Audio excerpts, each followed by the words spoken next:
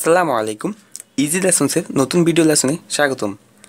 আজকে পর্বে আমরা অ্যাসিমটোটিক নোটেশন সম্পর্কে জান- জানব। গত পর্বে আমরা অ্যালগোরিদমের বেসিক সম্পর্কে জেনেছিলাম এবং সেখানে আমরা কমপ্লেক্সিটি নিয়ে আলোচনা করেছিলাম। কোথাও আমরা প্রাইম নেওয়া বের করা দুটি অ্যালগোরিদম দেখেছিলাম, যেখানে একটি অ্যালগোরিদমে টু থেকে শুরু করে এন মাইনাস ওয়ান পর্যন্ত কনসিডার করে কোনো একটি নাম্বার প্রাইম কিনা সেটা চেক করতো এবং অপর একটি অ্যালগোরিদমে টু থেকে শুরু করে রুট এন পর্যন্ত কনসিডার করে কোনো একটি নাইম কোনো একটি নাম্বার প্রাইম কিনা সেটা কনসিডার করতো। এবং সেখানে বলেছিলাম যে, এই অ্যালগোরিদমটি বেশি ইফিসিয়েন্ট এখন প্রশ্ন হলো, আমরা কীভাবে এটা কম্পেয়ার করব যে কোন অ্যালগোরিদমটি ভালো? কোনো একটা মেশিনে রান করে? সাপোজ আমি একটা পিসিতে রান করলাম যে, যেটা প্রসেসর খুব ভালো এবং মেমোরি থেকে ডাটা খুব দ্রুত রিড অ্যান্ড রাইট করতে পারে এবং সেটা sixty four bit operating system এবং সেই মেশিনে ফার্স্ট অ্যালগোরিদমটি রান করলাম এবং খুব নর্মাল একটা পিসিতে নিচের অ্যালগোরিদমটি রান করলাম। তাহলে অবশ্যই এই অ্যালগোরিদমটির রানিং টাইম এটার তুলনায় অনেক ক্ষেত্রেই কম হবে। তাহলে আমরা কি এই বৈশিষ্ট্যগুলোর উপর ডিপেন্ড করে কোনো একটা অ্যালগোরিদমে কোনো একটা অ্যালগোরিদমের রানিং টাইমকে কম্পেয়ার করব? অবশ্যই না। তাহলে আমাদেরকে আমরা জাস্ট একজ্যাক্ট রানিং টাইমটা বুঝতে পারব না বা কোন অ্যালগোরিদমটি ভালো সেটা বুঝতে পারব না। তাহলে আমাদের এখানে আমরা শুধুমাত্র কনসিডার করব ইনপুট সাইজের উপরে। অর্থাৎ এখানে ইনপুট সাইজ বলতে কি বলছে অর্থাৎ এন এর মান। কোনো একটা অ্যালগোরিদম তার ইনপুট সাইজ বৃদ্ধির সাথে সাথে সেটা রানিং টাইম কোন হারে চেঞ্জ হচ্ছে, আমরা শুধুমাত্র সেটার উপর বিবেচনা করে অ্যালগোরিদমগুলোকে কম্পেয়ার করব। এখন আমরা যদি কোনো একটা অ্যালগোরিদমে রানিং টাইম বের করি, তাহলে আমরা দেখছি এরকম কিছু পরিণমিয়াল ইকুয়েশন চলে আসে। এখন কথা হলো, এই একজ্যাক্ট পরিণমিয়াল ইকুয়েশন দিয়ে কি আমি কোনো একটা অ্যালগোরিদমকে কম্পেয়ার করতে পারব? অবশ্যই না। আমি এখানে কম্পেয়ার করব যে এর মান চেঞ্জ হওয়ার সাথে সাথে কীভাবে সে অ্যালগোরিদমটা কমপ্লেক্সিটি বা রানিং টাইমটা চেঞ্জ হচ্ছে।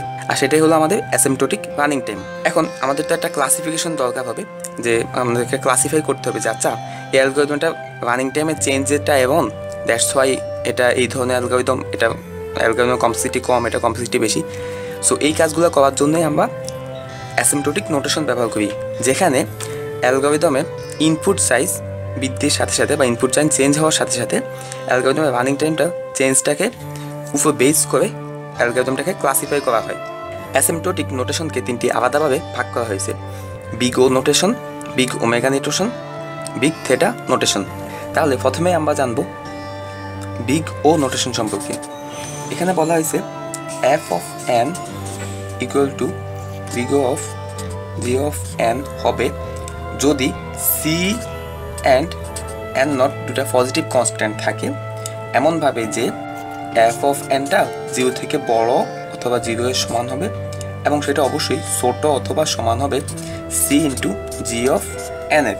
For all n is greater than or equal n not অর্থাৎ সি এবং এন নটের এমন কিছু ভ্যালু আমরা নিব, যেই ভ্যালুগুলো নেওয়ার পরে এফ অফ এনটা অবশ্যই ছোট অথবা সমান হবে c into g of n এর। যেখানে এনটা হবে অবশ্যই এন নটের থেকে বড় অথবা এন নটের সমান। চলুন তাহলে একটা এক্সাম্পলের মাধ্যমে বিষয়টা বুঝে নিই। Twenty n square plus two n plus five equal to big of n square বলা হলো।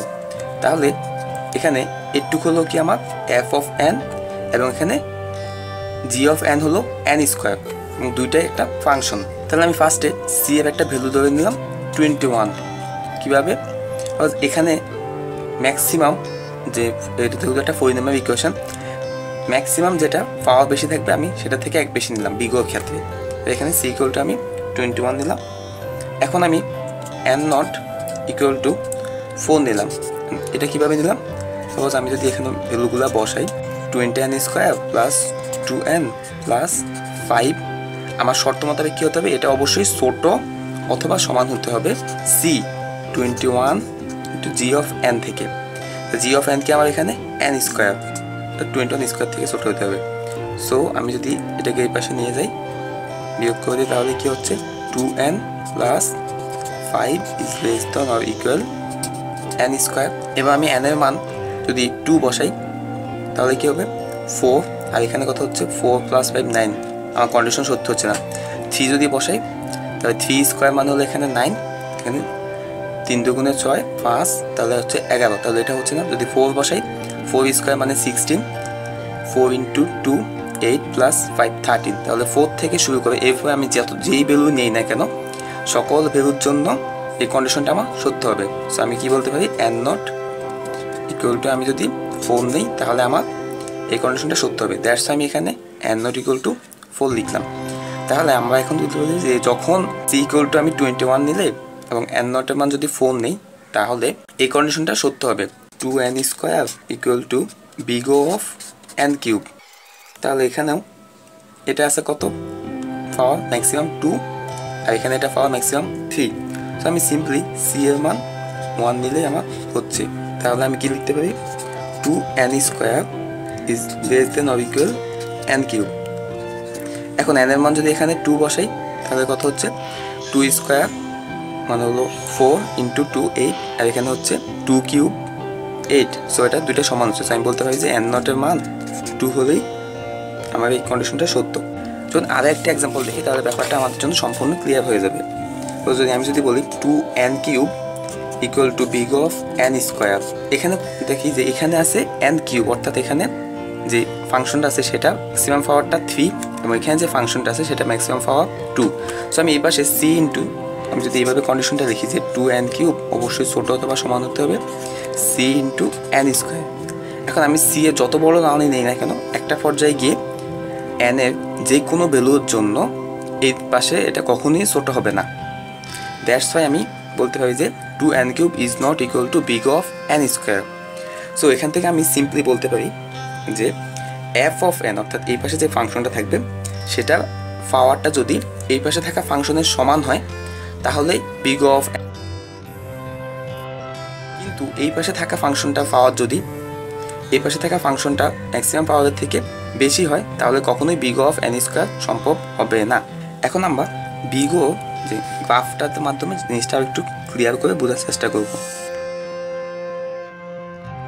এই পয়েন্টটাকে যদি আমি এন নট ধরি এবং এটাকে যদি আমি বলি C into G of N এটাকে যদি বলি F of N that means N নটের পরে কখনোই এফ এনটা সি ইন্টু জি এনটার উপরে যায়নি অর্থাৎ সেটা সবসময় নিচে আছে বা এর থেকে ছোটো আছে এই জন্যই এটাকে বলা হচ্ছে আপার বাউন্ড বিগো নোটেশনটাকে বলা হচ্ছে আপার বাউন্ড কমপ্লেক্সিটি ওকে এখন আমরা দেখব বিগ ওমেগা এখানে বলা আছে f n equal to big omega of g of n হবে। যদি সি এবং এন নট এমন দুইটা কনস্ট্যান্ট ভ্যালু থাকে পজিটিভ কনস্ট্যান্ট ভ্যালু থাকে, যেগুলো জন্য এফ অফ এনটা অলওয়েজ জিরো থেকে বড় হবে অথবা সমান হবে এবং c into g of n এর থেকে বড় অথবা সমান হবে, যেখানে for all n is greater than or equal n not আমি সি এবং এন নটের এমন দুইটা ভ্যালু নিব, যার জন্য এফ অফ এনটা অলওয়েজ বড় অথবা সমান হবে। তো একটা এক্সাম্পলের মাধ্যমে দেখি। তখন আমি টোয়েন্টি এন স্কোয়ার নিলাম plus two n plus five equal to big omega n square তাহলে এখানে আমি সিম্পলি সি এর ভ্যালু এখানে যে ম্যাক্সিমাম যে পাওয়ারটা আছে এন স্কোয়ার সেটা সহ টোয়েন্টি নিলাম। N not equal to one নিলাম। এখন এখানে n not equal to one কেন নিলাম? কারণ আমি যদি সিম্পলি এভাবে লিখি twenty n square plus two n plus five হতে হবে বড় অথবা সমান টোয়েন্টি এন স্কোয়ার থেকে। তাহলেই তো আমার এই কন্ডিশনটা সত্যি হইতে আমি বলতে পারব যে এটা আমার big omega of n square সুতরাং আমি যদি এভাবে লিখি যে পাশ থেকে এই পাশে নিয়ে এটা কাটাকাটি দিয়ে দিলে তাহলে এখানে আসতেছে two n plus five is greater than or equal zero এখানে এই ইকুয়েশনটা কি সত্য হবে? সি ইকুয়াল টু টোয়েন্টির জন্য এবং এন নট ইকুয়াল টু ওয়ানের জন্য। এখানেও বিগ ও নোটেশনের মতো একটা সিম্পল হিসাব আছে। বিগ ও নোটেশনে কী ছিল? যে এফ অফ এন এর যে ম্যাক্সিমাম পাওয়ারটা থাকবে পরিণামিকেশন যে ম্যাক্সিমাম পাওয়ার থাকবে, সেটা কখনোই বেশি হতে পারবে না জি অফ এন থেকে। আর এখানে হবে জি অফ এন এ যে পরিণামিয়াল ফাংশনটা থাকবে অর্থাৎ এখানে যদি থাকে এন স্কোয়ার এখানে যদি থাকে এন কিউব তাহলে এটা বিগ ওমেগা নোটেশন হতে পারবে না। আমরা সামনে এটা একটু বিস্তারিত বুঝব। এখন আমরা প্লট ডায়াগ্রামের মাধ্যমে বিষয়টা একটু ভালো করে বোঝার চেষ্টা করি। এটাকে ধরলাম এফ অফ এন এবং এটাকে ধরলাম c of g of n তাহলে এটাকে যদি আমরা এন নট ধরি তাহলে আমরা বলতে পারব যে একটা নির্দিষ্ট ভ্যালুয়ের পর F of এনটা always c of g of n এর থেকে বেশি। অর্থাৎ এটাকে বলা হচ্ছে এখানে লোয়ার বাউন্ড সো আমরা বিগ ওমেগা নোটেশনের মাধ্যমে কোনো একটা টাইম কমপ্লেক্সিটি লোয়ার বাউন্ডটা পাই। এখন আমরা দেখব থিটা নোটেশন এখানে বলা হয়েছে f of n equal to theta of g of n হবে। যদি সি ওয়ান সি টু এবং এন নট তিনটা পজিটিভ কনস্ট্যান্ট থাকে, এমনভাবে যে c one g of n is greater than or equal হবে এফ অফ এন এর, এবং এফ অফ এনটা লেস দেন অর ইকুয়াল হবে c into g of n এর। For all n is greater than or equal n not তার মানে এখানে যদি একটু কম্পেয়ার করি আমি, তাহলে দেখতে পাচ্ছি কি? যে c of g n is less than or equal f on f of n এটা কোনটা ইকুয়েশন বিগ ওমেগার ইকুয়েশন আবার যদি একটু কম্পেয়ার করি এফ অফ এনটা অলওয়েজ ছোট অথবা সমান হতে হবে C two of G of N এটা হলো আমার বিগ ও নোটেশন অর্থাৎ বিগ ও এবং বিগ ওমেগা দুটা নোটেশন যদি স্যাটিসফাইড করে, তখনই আমরা সেটাকে বলতে পারব যে বিগ থিটা নোটেশন এখন দেখি যে বিগ ও নোটেশন আমরা কি পাই? এটুকের মধ্যে আমরা পাই যে আপার বাউন্ড এটুকের মধ্যে আমরা পাই তো বিগ ওমেগার ক্ষেত্রে আমরা পাই লোয়ার বাউন্ড তো এই টোটালটা মিলে এখন আমরা কি পাচ্ছি? বিগ থিটার মাধ্যমে টাইটেস্ট বাউন্ড বা এটাকে বলা হচ্ছে টাইট বাউন্ড এখন আমরা বিগ থিটার একটা এক্সাম্পল দেখি। Ten n cube plus seven plus one hundred equal to theta n cube okay তাহলে প্রথমে আমি c one equal to ten ধরলাম। তাহলে যদি বলি যে আমার এই কন্ডিশনটু সত্য হইতে হবে, তাহলে কীভাবে হবে?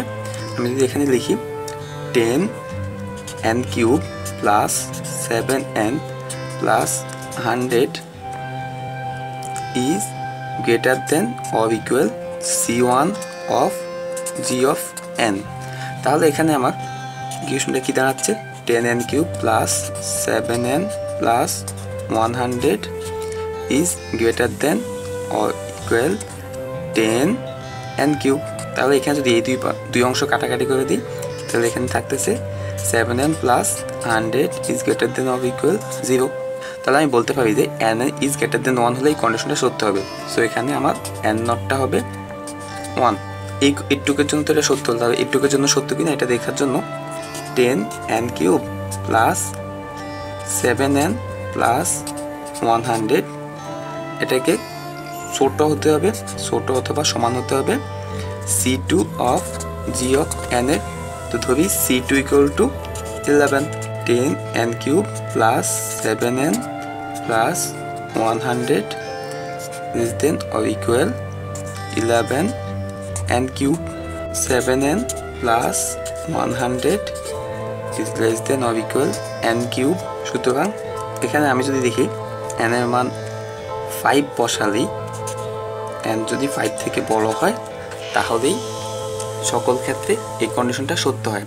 সো আমার এখানে n not equal to five হবে। সুতরাং এখন আমি বলতে পারি, এই টোটালটার জন্য এই কন্ডিশনটা সত্য হবে। যদি আমি এনটাকে ফাইভের থেকে বেশি নেই, তাহলে আমার সম্পূর্ণ কন্ডিশনটা সত্য হবে। অর্থাৎ এই ইকুয়েশনটা big theta of n cube এর সমান হবে। এতক্ষণ আমরা যা শিখলাম সেটাকে একটু সুন্দর করে সাম অফ করি।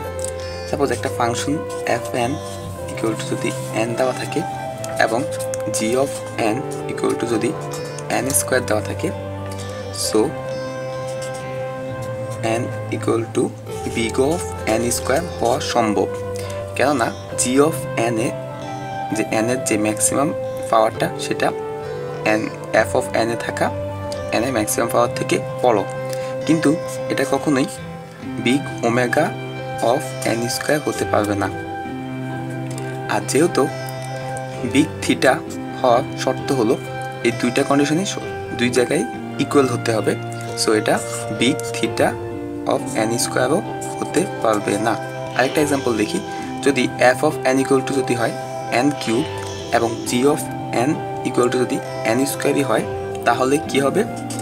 N cube equal to big O of N square হবে না। কারণ এখানে থাকা এফ জি অফ এন এর ফাংশনের ম্যাক্সিমাম পাওয়ারটা এফ অফ এন এর ম্যাক্সিমাম পাওয়ার থেকে ছোট। কিন্তু এটা ওমেগা অফ এন স্কোয়ার হবে। কেননা এফ অফ এন এর ম্যাক্সিমাম পাওয়ারটা এখানে বেশি, এখানে থাকা জি অফ এন এর ম্যাক্সিমাম পাওয়ার তুলনায়। যেহেতু এই দুইটা সমান হলেই শুধুমাত্র বিগ থিটা হয়, যেখানে তো সমান হয় নাই সো এখানে big theta of N square হবে না। বা আরও একটা এক্সাম্পল দেখি। সাপোজ এফ অফ এনটাকে আমি এন স্কোয়ার রাখলাম, এবং জি অফ এনটাকেও এন স্কোয়ার বললাম। তাহলে N square equal to big of N square হবে equal to big omega of N square হবে। যেহেতু এই দুটো সমান সো এটা সমান বিগ থিটা অফ এন স্কোয়ারও হবে। তাহলে আমরা বলতে পারি যে বিগ থিটা হওয়ার জন্য অবশ্যই এফ অফ এন এর ম্যাক্সিমাম পাওয়ার এবং জি অফ এন এর ম্যাক্সিমাম পাওয়ার সমান হতে হবে। ধন্যবাদ ভিডিওটি দেখার জন্য। আমাদের পরবর্তী লেসনগুলো পেতে হলে অ্যাক্টিভ থাকুন। আমাদের ফেসবুক পেজ ইজি লেসন্স এবং আমাদের Facebook community data structure and algorithm in বেঙ্গলিতে প্রয়োজনীয় ডাটা এবং ইনফরমেশন সিমোরে দেওয়া আছে। যে কোনো ধরনের সমস্যা, মতামত এবং পরামর্শ থাকলে কমেন্ট সেকশনে বা আমাদের কমিউনিটিতে যোগাযোগ করুন। ভিডিওটি লাইক এবং শেয়ার দিতে ভুলবেন না এবং অবশ্যই অবশ্যই সাবস্ক্রাইব করুন আমাদের ইউটিউব চ্যানেলটি ধন্যবাদ সবাইকে। এভাবে যতক্ষণ পর্যন্ত তুমি বলটি খুঁজে না পাবে, ততক্ষণ পর্যন্ত তোমাকে সার্চিং প্রসেসটি চালিয়ে যেতে হবে। এখন আমরা দেখব অ্যালগোরিদমের ক্ষেত্রে কীভাবে শুরু করতে গেলে লিনিয়ার সার্চ করা হয়।